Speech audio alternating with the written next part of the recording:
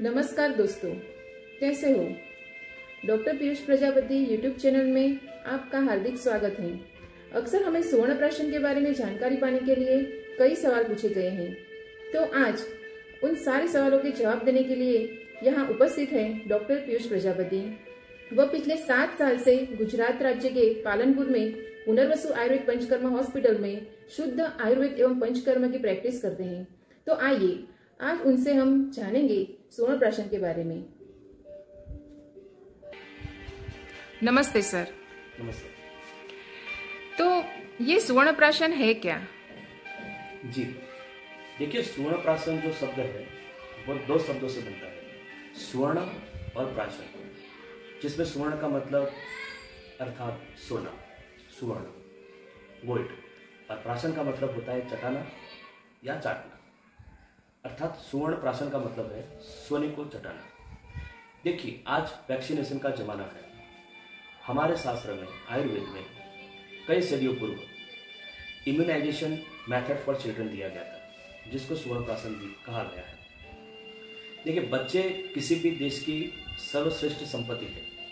हमारे शास्त्र में कहा गया है कि धर्म, अर्थ, काम, मोक्षाणाम, आरोग्य, मूलम, उत्तम। अर्थात धर्म, अर्थ, काम, मोक्ष, ये सब की प्राप्ति के लिए आरोग्य उसका मूल है। अर्थात आरोग्य के बिना आप इन सब की प्राप्ति नहीं कर सकते। आप समझ सकते हैं कि आयुर्वेद में आरोग्य की महत्ता कितनी बताई गई है। इसी प्रकार, कहा जाए तो आयुर्वेद में काश्यप संहिता, जो काश्यप जी ने लिखी थी, छठी सदी में, उसमें भी स्वर्ण प्राशन का रेफरेंस है।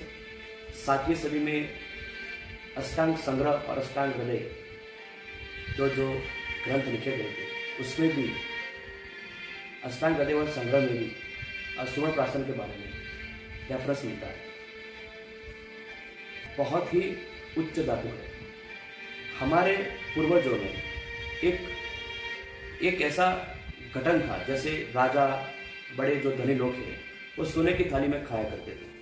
क्यों? क्योंकि संभवतः सोने की थाली में खाने से उनकी इम्यूनिटी बहुत ज़्यादा रहती थी। बीमारियाँ कम आती थी। जो लोग सोने की थाली में नहीं खा सकते थे, वो लोग सोने के गहने पहना करते थे, ताकि उनके शरीर के स्पर्श में रहने से सुवर्ण का लाभ उन्हें मिलता था। हमारे यहाँ पर बच्चे का जब जन्म होता है, तब उसे सोने की वस्तुएँ प्रदान की जाती थी, दान में दी जाती थी या गिफ्ट में दी जाती थी। क्योंकि सोना हमारे शरीर के अंदर जब भी जाता है जब भी हमारे सोने के शरीर के स्पर्श में आने से हमारे बॉडी की इम्यूनिटी रोग प्रतिकारकता बढ़ जाती है। शरीर के अंदर पॉजिटिविटी आती है। इसीलिए सुवर्ण प्राशन शास्त्र में उस वक्त आयुर्वेद में, प्राचीन संहिताओं में एक इम्यूनाइजेशन मेथड के तौर पे दिया गया था, जो आज भी उतना ही फायदाकारक है और हमें इसके काफ़ी अच्छे परिणाम भी मिले हैं। जी, बहुत अच्छा सर। अर्थात सोने से आपकी हेल्थ अच्छी होती है। तो आप बताइए कि ये स्वर्ण प्राशन बनता कैसे है? देखिए स्वर्ण प्राशन सिर्फ़ स्वर्ण भस्म या स्वर्ण स्वर्ण से नहीं बनता है।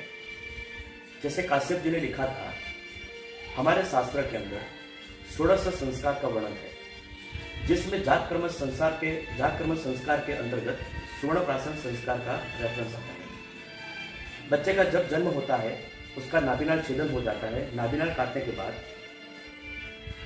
बच्चे को सुवर्ण प्राशन देना चाहिए, ऐसा काश्यप ने अपनी संहिता में लिखा था।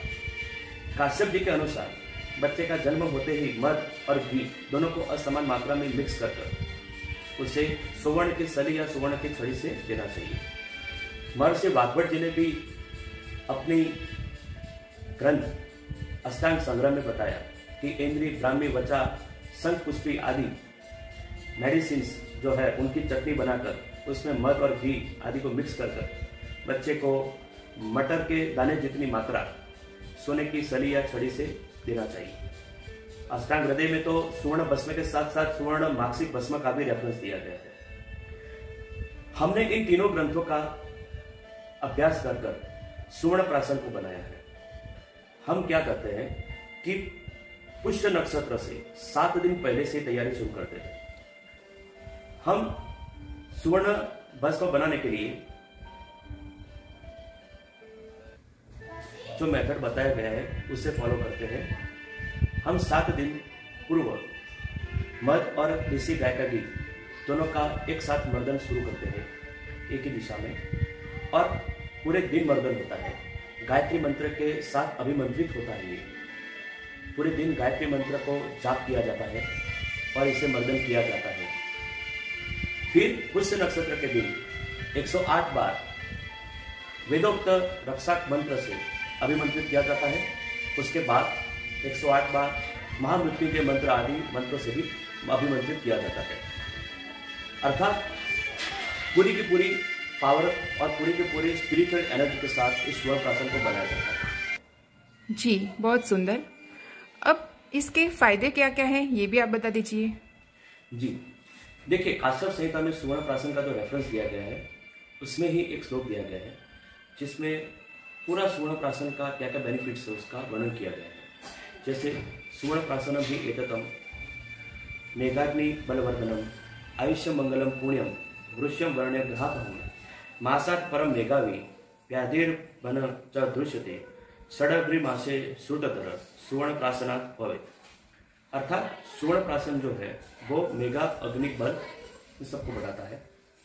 आयुष्य अर्थात आयुष्यकारी है, आयु देता है, लंबी आयुष्य देता है, मंगल अर्थात पवित्र, पुण्यकारी देता है, पुण्य देता है। और ऋष्य अर्थात सत्कर्मी, सुकुमार अवस्था को प्रदान करता है, ओजस्वी बनाता है, तेजस्वी बनाता है। वर्णीय अर्थात स्किन टोन बॉडी का जो होता है, उससे भी अच्छा बनाता है। बच्चे के अंदर एक ग्रह बाधा नाम का भी प्रॉब्लम देखने को मिलता है, जो जन्मजात बच्चे होते हैं, उसमें भी ये रक्षण देता है। इसमें कहा गया है कि बच्चे को एक मास तक निरंतर सुवर्ण प्राशन देने से बच्चा मेघावी बन जाता है और छह मास तक निरंतर सेवन करने से बच्चा श्रुतधर अर्थात कुछ भी कहे जाने पर उसे तुरंत याद करने वाला बन जाता है। मैं अपने पेशेंट को काफ़ी अच्छे से बताता हूँ कि जब भी बच्चे को सुवर्ण प्राशन दिया जाए तो उन्हें अच्छी बातें सिखाएँ। क्यों? क्योंकि उन्हें पता नहीं होता है और बच्चे का जो मेमोरी पावर है, वो बहुत पुष्ट हो जाता है। कभी कभी उनको पता नहीं होता है, उनकी जो कुछ गलतियाँ होती है, कुछ गंदी बातें होती है, ये भी बच्चे अपने आप सीखने लगते हैं और जल्दी सीखने लगते हैं। क्यों? क्योंकि ये मेगा को बहुत जल्दी बढ़ाता है। शुद्ध दर का मतलब है कि जो भी उसे कहा जाएगा, जो भी वो सुनेगा, उससे वो तुरंत ग्रहण कर लेगा। तो इस दौरान आप बच्चे को अच्छी अच्छी बातें सिखा सकते हैं। मेगा अग्नि बल, ये जो बातें पहले बताएगी इसका आप अभी के संदर्भ में देखें। तो मेमोरी पावर जो होता है ग्रास्पिंग पावर जो होता है बच्चे की याद रखने की जो शक्ति होती है उससे बहुत बढ़ाता है। अग्नि से मतलब होता है कि बॉडी का डाइजेशन पावर जनरली देखा गया है कि बच्चे को जनरली एनेमिक है या फिर कोई बच्चे है जिसके मसल बहुत वीक है तो उनके अंदर डाइजेशन पावर बहुत वीक होता है। तो उनकी अग्नि भी डाइजेशन पावर बहुत बढ़ाता है और उनके बल अर्थात उनकी.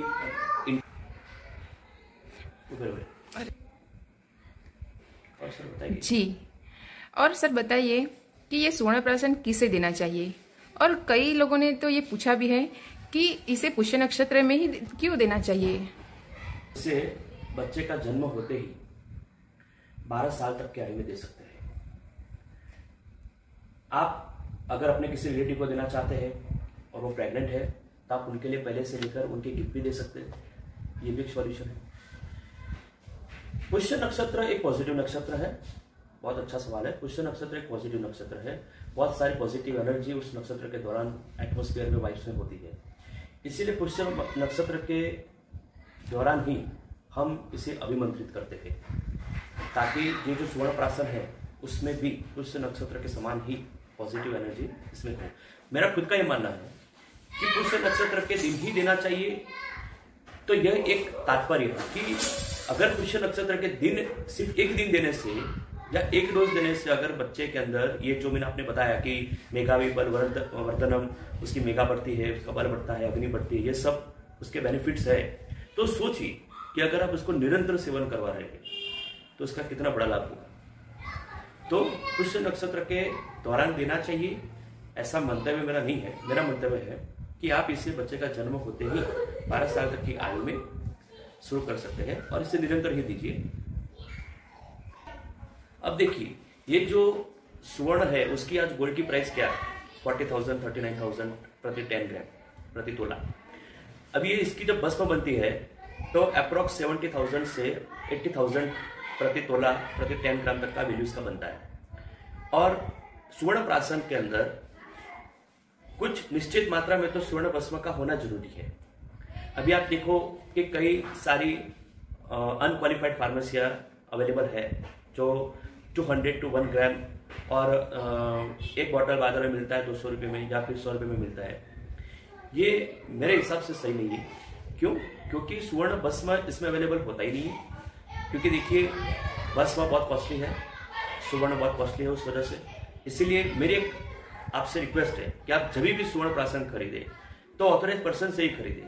क्यों? क्योंकि सुवर्ण प्राशन समझ के आप किसी चीज़ को दे रहे हैं एंड बेनिफिट की अपेक्षा रख रहे हैं तो मेरे हिसाब से वैल्यूएबल नहीं है। अगर आप भी विदोक्त, अभिमंत्रित पावरफुल स्वर्ण प्राशन को खरीदना चाहते हैं तो स्क्रीन पर दिखाए गए नंबर पर संपर्क करें। ऐसे ही इंफॉर्मेशन पाने के लिए doctor Piyush Prajapati YouTube channel को सब्सक्राइब करें। और फेसबुक पे हमारा पेज भी है पुनर्वसु आयुर्वेद पंचकर्मा हॉस्पिटल के नाम से, उसे लाइक करें। और आप अपने सुझाव और सवाल इस व्हाट्सएप नंबर पर चैनल पर या पेज पर पूछ सकते हैं। धन्यवाद।